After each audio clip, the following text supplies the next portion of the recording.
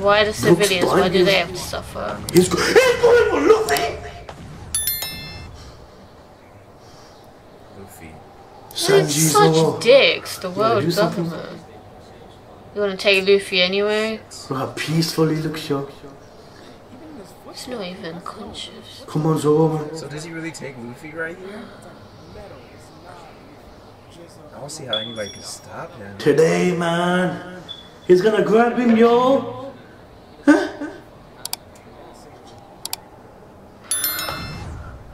Holy shit! Oh no no no no no! that- That's right. Zoro makes a coming. deal. Oh, I thought.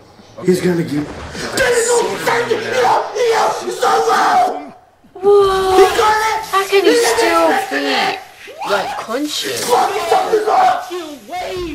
mean, really gonna. Oh shit, that was What? a What the fuck?